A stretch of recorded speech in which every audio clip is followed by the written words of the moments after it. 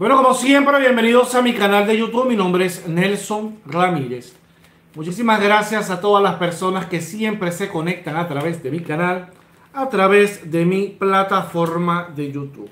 Amiga y amigo del signo de Tauro, Tauriana, Tauriano, vamos a ver qué te dicen las cartas del tarot a partir de este momento.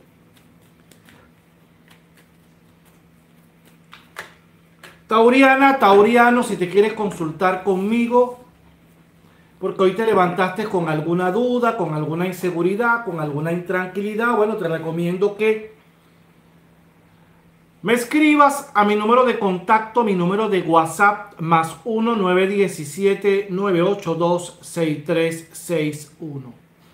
Más 1 917-982-6361, mi número de contacto, mi número de WhatsApp para mis consultas personalizadas.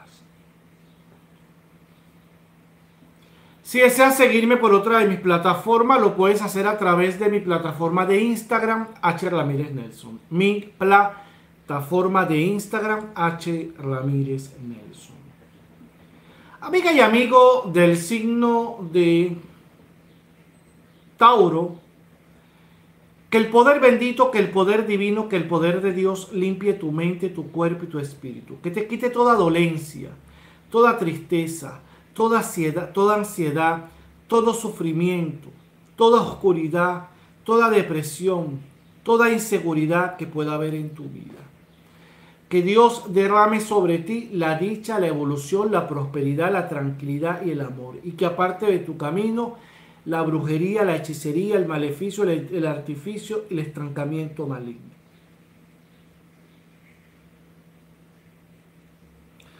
Vamos a ver, amiga y amigo del signo de Tauro, qué te dicen las cartas del tarot. La primera carta, la carta del diablo, la carta del caballo de basto, la carta de la rueda de la fortuna,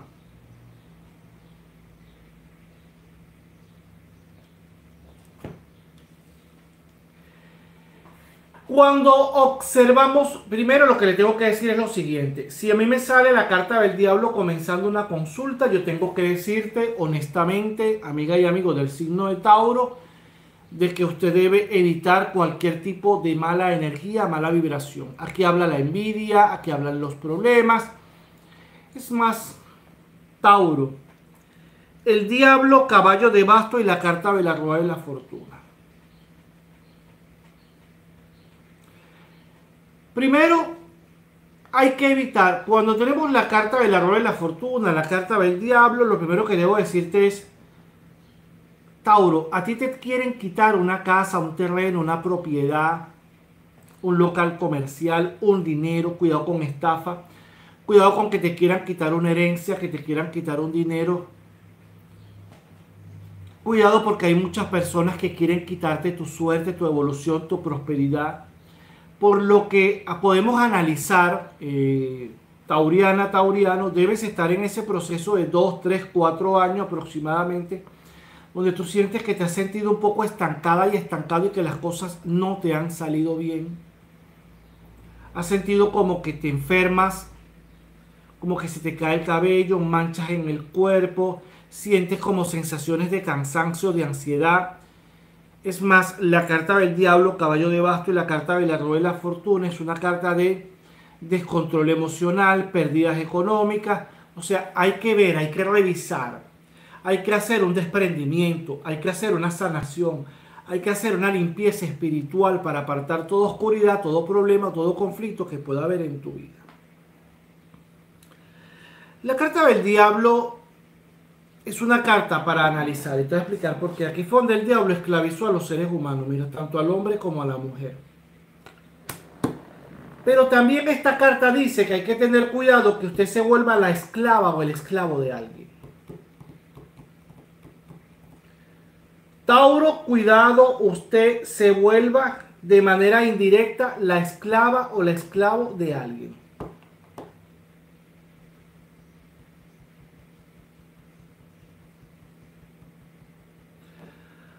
Aquí nacen los hombres que piensan que la mujer es un estado de pertenencia, que no la dejan compartir con su familia, que no la dejan que tienen mucho celo, muchas inseguridades y que a la mujer la van envolviendo de tal manera que la van como secando. Date cuenta que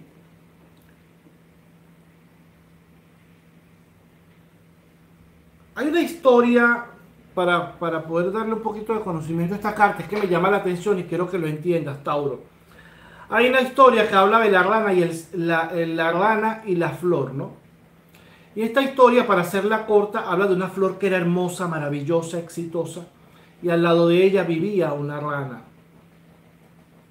La rana siempre estaba allí, protegiendo literalmente a la flor, apartándola de todo el mundo, pero un día la flor se sintió, al principio para ella era importante la presencia de la rana, porque la rana ya sentía que la cuidaba demasiado, que no dejaba que nadie se la acercara, pero eso le permitió crecer muchísimo. Y con el tiempo, cuando la flor ya se sintió grande, se sintió hermosa, veía la rana y veía que la gente se retiraba un poco porque veía un animal feo y espantoso al lado de ella, una flor tan hermosa y una rana al lado. Sintió tanta envidia el tema de la rana, sintió molestia y un día le dijo a la rana, quiero que te vayas de mi lado y que más nunca vuelvas. Y la rana con lágrimas en los ojos le dijo, después que te he protegido tanto, después que te he ayudado tanto, después que te llevé tan lejos, tú me vas a hacer esto. Y la, y la flor le dijo, sí, quiero que te vayas de mi lado. La rana decidió irse, pero no muy lejos. A los días se da cuenta de que la flor, aquella hermosa flor que todo el mundo veía, que todo el mundo admiraba, estaba llena de muchos insectos y los insectos estaban comiendo sus flores, sus hojas, su tallo y la, y la flor, que era muy hermosa, estaba muy marchita, muy deteriorada la planta con lágrimas en los ojos, la flor miró a la rana y le dijo, ¿qué me pasó? ¿Qué me hiciste? Y la rana le dijo nada, desde el momento en que me dijiste que me fuese de tu lado, ya más nadie estuvo para protegerte.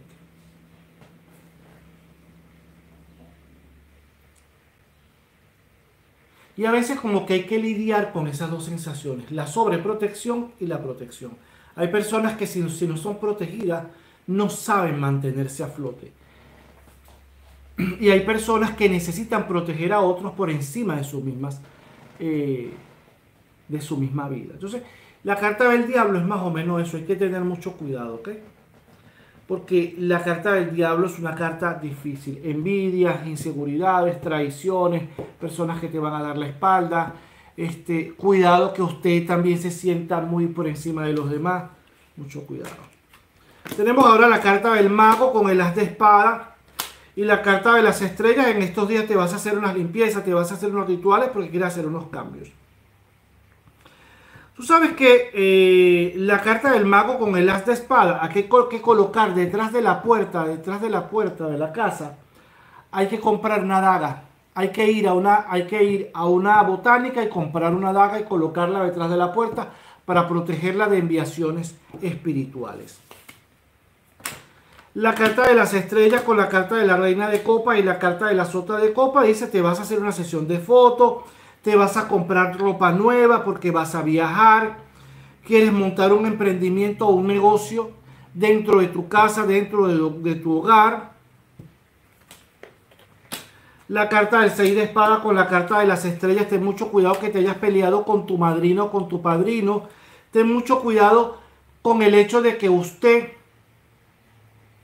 Date cuenta, 6 de espada y la carta de la sacerdotisa. Tenga mucho cuidado con que usted vaya a discutir con una persona religiosa, con una persona, con un palero, con un santero, con un espiritista, con alguien religioso, porque se le puede armar una guerra. El 6 de espada con la carta de la sacerdotisa también dice mucho cuidado con cosas que te puedan echar en la puerta de tu casa. Y me parece que en el conjunto donde usted vive, en el urbanismo, en el conjunto residencial, en el barrio donde usted vive, hay mucha mala vibra, hay muchas malas energías. También hablan las cartas con el 4 de espada. Ten mucho cuidado con una filtración en tu casa. Ten mucho cuidado con tu hogar. Se están deteriorando un poco las cosas. Cuidado que te vayas a cortar las manos con un cuchillo, con un vaso, con un vaso. Cuidado con cortadura y cuidado con quemadura. El 4 de espada con el 10 de espada cerca de donde usted vive, en su casa, cerca del sector donde usted vive, se va a presentar un problema, se va a presentar una discusión muy fuerte, trate de no salir ni de meterse en problemas que no sean suyos. El 3 de copa con la carta de la reina de espada y el 3 de espada, aquí habla de una persona en tu grupo familiar que puede estar pasando por un problema de depresión.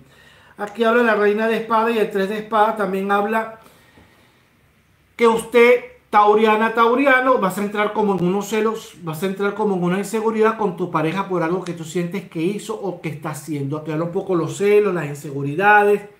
Aquí habla de que vas a ver un mensaje, vas a revisar un teléfono, vas a ver algo por allí y te vas a enterar de algunas cosas, amiga y amigo del signo de Tauro. El 7 de espada con la carta de la emperatriz y la carta del caballo de espada. Yo te quiero preguntar, Tauriana, cuando tú estabas en estado, tu pareja te dijo que abortaras, que perdieras al niño, que él se iba a ir de tu lado, que él no quería muchachos. Es más, la carta del, caballo de espada con la carta de la emperatriz y el siete de espada, dime, Tauriana, ¿quién fue esa familia, esa muchacha de tu familia, esa mujer de tu familia, que se apartó de sus hijos por ir a perseguir a un hombre, por irse a vivir con un hombre? ¿O quién fue esa mujer que quería comenzar su vida de cero y darlo su hija o su hijo y se lo entregó al padre? O a su pareja anterior para irse con otra persona. El 7 de espada con la carta de la emperatriz habla de un aborto a causa de tu pareja. Un aborto a causa de tu pareja. La carta del 8 de basto con el 5 de copas. Y el 7 de espada, prepárate porque te viene una fiesta, una reunión, un compartir en familia donde vas a pasar un excelente momento el 9 de copa. Hay algo a nivel laboral. En la empresa o en el trabajo donde estás te van a dar un nombramiento y te van a dar una oportunidad laboral para hacer unos cursos, para hacer unos talleres. Eh, te van a mandar para que te quedes encargada o encargado del local. Así que muy pendiente, Tauriana, Tauriano. La carta de la justicia con la carta de la fuerza dice prepárate porque te vienen cosas maravillosas. Vas a ganar un proceso legal te van a cancelar unos bonos, te van a cancelar una deuda. La carta de la justicia, vas a firmar un crédito hipotecario, vas a firmar una compra o una adquisición de un, de un carro, un vehículo, unos equipos, unas maquinarias. La carta de la justicia con la carta de la fuerza también dice, debes colocar algunos papeles, debes colocarlos en orden. Tauro, tu número de la suerte 9407. 9407. Vámonos con los amigos y con las amigas del signo de Géminis. Vamos con Géminis.